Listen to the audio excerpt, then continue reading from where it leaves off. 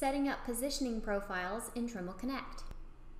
In order for a user to obtain real-time accuracy in the field, a positioning profile must be created in Trimble Connect in order for the GNSS receiver to process real-time corrected data for the TerraFlex data collection project. To create a positioning profile, open any map workspace. Click the hamburger menu of the map workspace.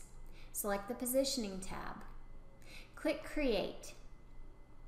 The three most commonly used correction sources are SBAS, VRS, and RTX.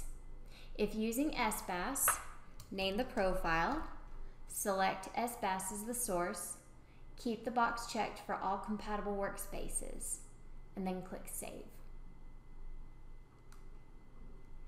If using RTX, create an RTX profile for RTX used in a connected environment. Click Source RTX Internet. Click Fallback Source to None.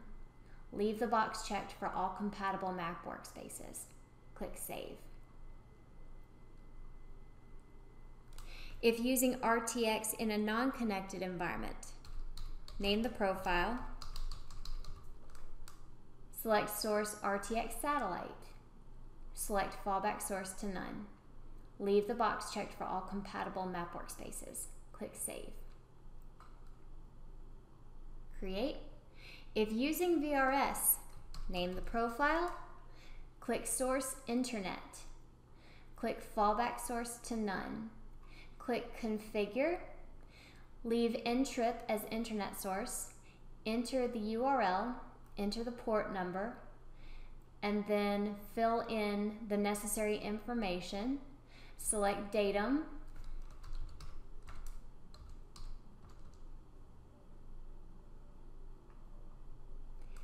and then one would click Save.